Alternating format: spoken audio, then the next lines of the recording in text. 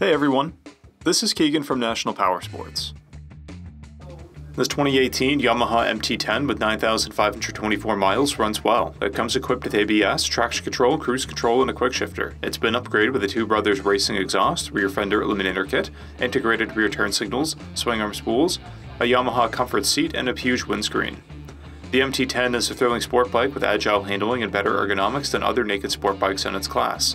Powered by a 998cc inline four-cylinder engine, the MT10 puts 160 horsepower and 81 foot-pounds of torque through a 6-speed transmission. It weighs in at 463 pounds and has a 32.1-inch seat height. To pass New Hampshire State inspection, this MT10 will need rear turn signals with sufficient visibility.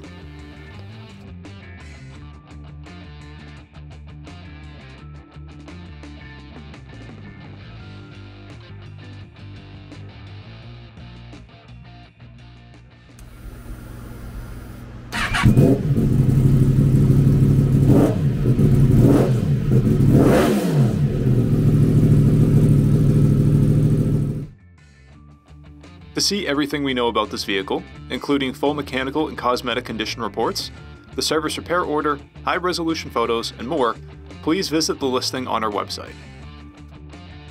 We have also purchased the CycleCheck's Vehicle History Report.